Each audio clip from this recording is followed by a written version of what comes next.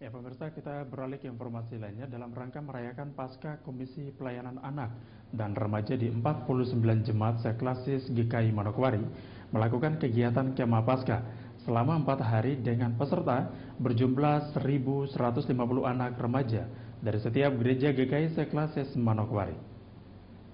Tuhan yang jauh bagi Yesus memberkati kita semua.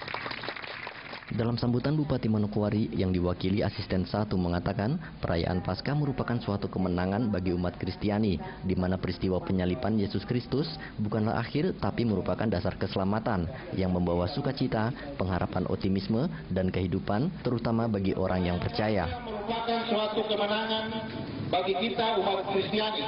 Peristiwa penyalipan Yesus Kristus bukanlah akhir dari segalanya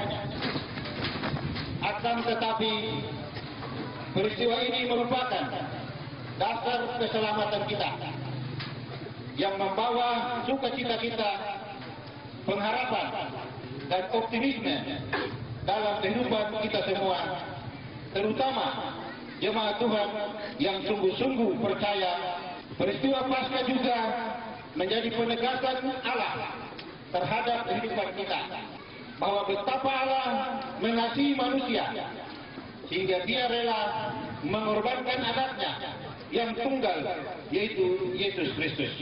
Pendeta SPB Sai saat membuka kegiatan Kemah Paskah mengatakan dalam kehidupan kita sebagai pengikut Kristus yang setia, kita harus mengucap syukur karena perlindungan dan kasih sayang Tuhan dalam kehidupan kita sebagai orang percaya. Kegiatan ini mengambil tema Yesus mati untuk saya. Berkenaan dengan perayaan kemah pasca ini, Sekretaris Pembinaan Jemaat GKI Klasis Manokwari, Pendeta S. Simbiak, juga mengatakan dalam perkembangan teknologi informasi sangat berdampak pada generasi muda sekarang ini. Maka ia berharap dalam kegiatan kemah pasca, setiap anak dapat mengikuti kegiatan-kegiatan yang bersifat positif yang memiliki nilai-nilai iman yang ditanamkan sejak kecil. Kita sadar juga bahwa perkembangan eh, teknologi, terutama teknologi informasi, ini di sisi punya dampak positif, tapi ada dampak negatif. Yang menjadi kekhawatiran khusus bagi kita adalah bahwa justru dampak-dampak negatif seperti itu dengan kegiatan-kegiatan yang bersifat positif, yang memiliki nilai-nilai iman tentunya. Ini sangat baik bagi anak-anak ini. Ya, mereka eh, sejak kecil kita tanamkan sesuatu yang baik, memperkokoh mereka, memperkuat mereka. Sehingga ketika mereka berhadapan dengan situasi apa pun, ada sesuatu yang membentengi diri.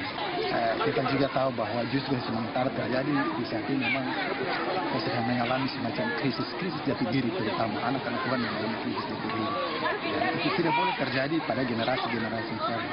Ini, ini hanya bagian kecil dari sebuah usaha tapi kita percaya tidak ada sesuatu yang kecil.